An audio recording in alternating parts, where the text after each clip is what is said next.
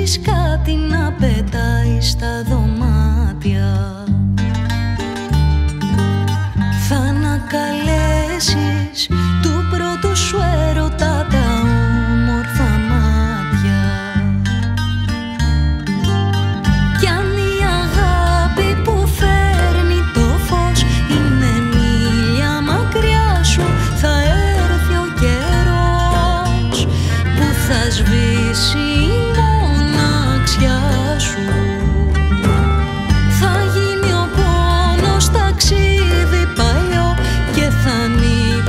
τα δυο